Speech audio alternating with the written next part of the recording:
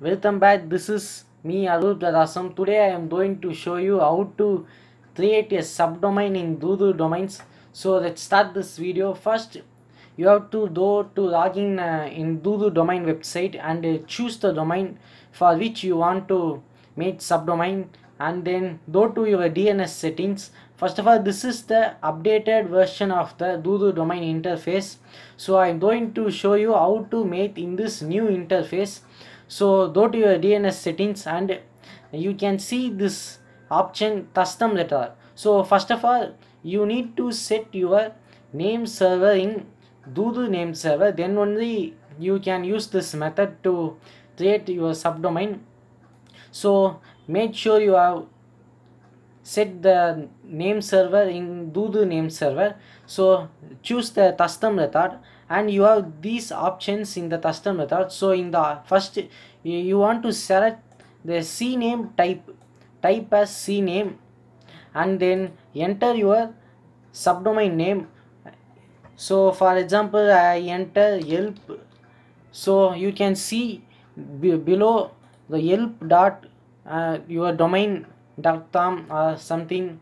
So this is the subdomain name so cname subdomain name and the ttl is the time to refresh your content uh, time to live. So uh, this is default value 1 hour that is 3600 second.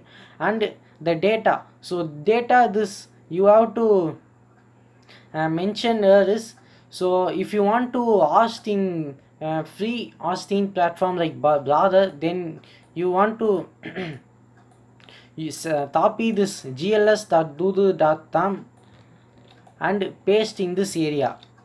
So this is the thing you have to do. For for example if you are uh, hosting any other third party uh, websites means then you have to contact and uh, uh, asked for what thing we have to paste in this area. For example the third party website name or something else you want to paste in this area to ask in third party. So i am asking in Blogger so uh, i am pasting this sentence. So after these things so press save. And you created the new record and uh, wait for two minutes and refresh the page. Then it will added in this area. So it will added as broadcasting or something in this area.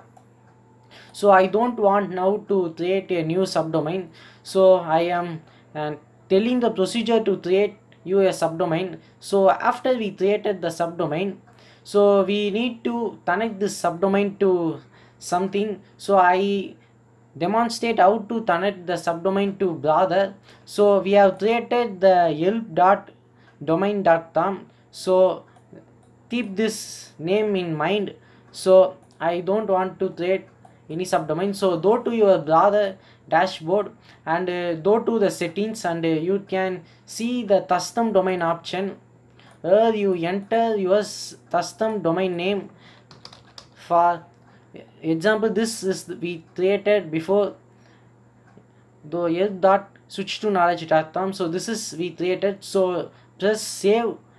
So i don't want to add the subdomain now add the subdomain. So after entering your subdomain like this press save and uh, don't forget to enable the https so wait for 10 to 15 minutes after saving and uh, the domain will go into live.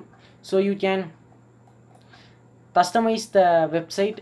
Wait for 10 to 15 minutes and uh, https also available in a few minutes so this is the thing i want to convey in this video.